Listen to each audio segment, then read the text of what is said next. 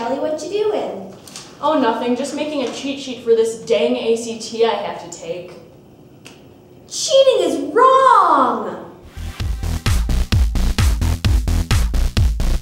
Cheating puts honest students at a disadvantage.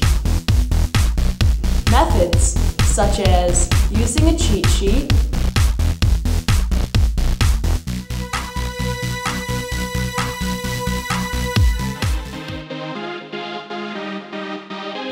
getting someone else to go take the test for you,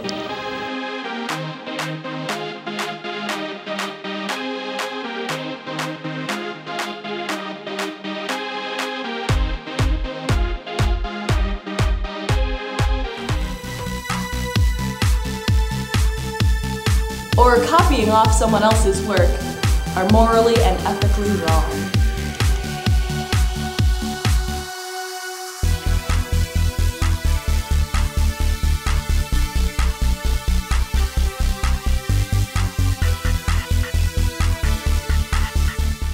Cheating on the ACT is wrong. It not only cheats yourself, but everyone around you. If you see someone cheating, call 1 877 777 7296. Or fill out an anonymous report at act.alertline.com. Hey Allie, what you doing? I'm just making a... I'm studying for the ACT. I'll join you.